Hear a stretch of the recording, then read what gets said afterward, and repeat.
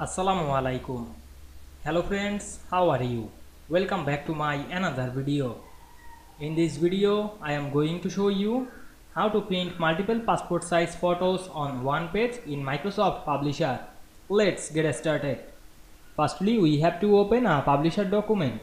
Now we want to print multiple passport size photo in this one page. Go to the insert menu. Click the picture option then choose a picture from our file and insert it.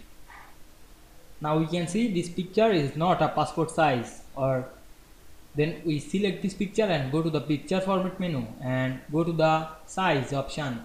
Then open a window then we check mark of the lock aspect ratio then select the height to and wide 2 then click ok. Then copy the picture click right button on our mouse and paste inside then arrange this picture horizontally.